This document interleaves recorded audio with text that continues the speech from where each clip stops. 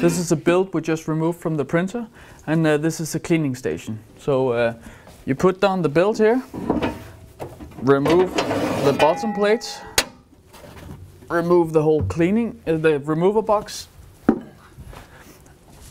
and you close down the front lid. What we need to do is to connect it to compressed air and to power, and you're good to go. Then we turn it on.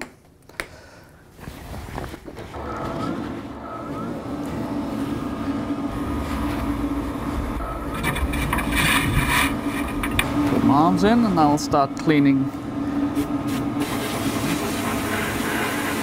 It's important here that you uh, keep moving the nozzle so you don't have any heat burns.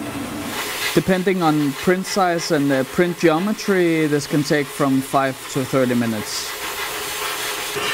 All the printed models is inside this uh, build and uh, I'm removing all the unsintered powder in order to reveal the models.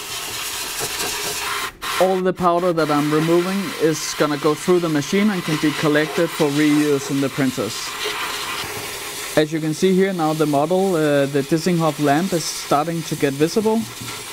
Uh, you can see more and more of the lamp.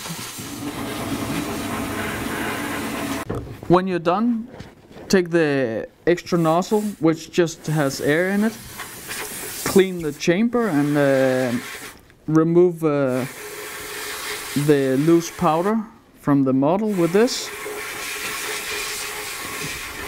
There you go. And then just uh, clean around the, the lid and uh, wait uh, around 30 seconds uh, to uh, make sure the airborne uh, dust has settled. When the process is done, it's a good idea to keep the grinder running for a few minutes to, in order to ensure all the powder is all the way down in the reservoir. Fill up the bucket from the tap here, fill it up two thirds from the um, cleaning station and top it up with one third uh, of new powder put on the lid and give it a good shake and it's ready to be refilled in the blueprinter.